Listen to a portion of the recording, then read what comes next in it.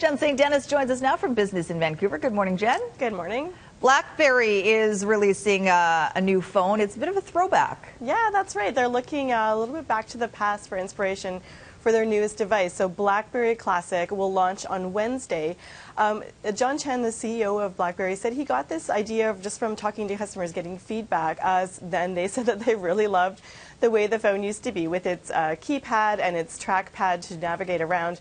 Now this phone will have a bigger display, uh, sort of a modern display, and also have uh, more apps. So hopefully this will be a successful product launch for them. This follows the release of the Passport, which is a, which is a phablet type phone, which is a really a larger phone.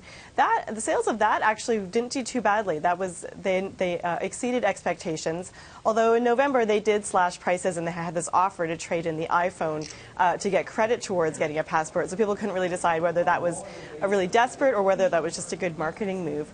Uh, but we'll all find out more about the company's financial health um, on Friday, and that's when the company will release its third quarter results. Sophie. I do miss my BlackBerry sometimes. I can't. I think I a lot of people did. So fast. we'll have to see. They're they're actually sold out of pre-orders, so that's a good initial sign. So we'll have to see how it does. When it's when did you say they're releasing it? On Wednesday. On Wednesday. Yeah. do it on Thursday for Throwback Thursday.